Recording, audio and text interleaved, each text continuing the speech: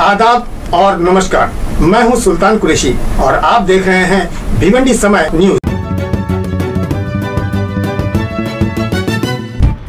Hello दोस्तों, मैं हूँ सुल्तान कुरैशी और आप देख रहे हैं भिवंडी समय न्यूज़। इस वक्त मैं खड़ा हूँ भिवंडी के बाईपास पे।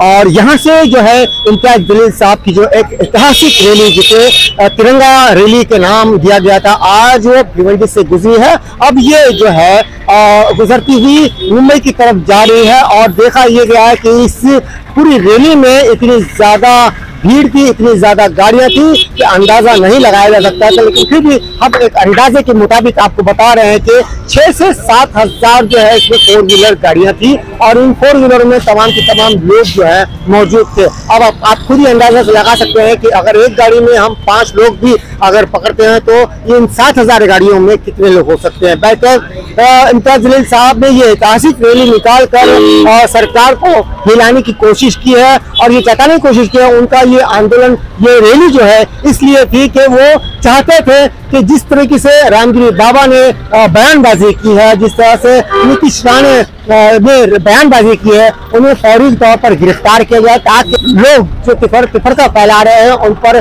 काबू पाया जा सके। और इसी देश को लेकर आज वो जो है, औरंगाबाद से मुंबई की तरफ़ रवाना हुए हैं। अपनी तमाम गाड़ियों के साथ, अपने पूरे काफिले के साथ आप तस्वीरों में देख सकते हैं कि किस तरह से लोग उनके आगे पीछे दौड़ रहे हैं, उनकी जयकार कर रहे हैं। और जैसी ही उन्होंने भिवंडी में एंट्री की तो तमाम की तमाम लोग जो यहाँ पर भी कई हज़ार लोग यहाँ पर मौजूद थे। इन जमाओं ने जो है नारा शुरू कर दिया और नारे से पूरा की पूरा बाईपास गूंज दिया था। आइए तस्वीरों में हम आपको सारी सारी चीज़ें और डिटेल बताते हैं। मैं अपने सहयोगी के साथ जीवन की सफ़ाई न्यूज़ से सुल्तान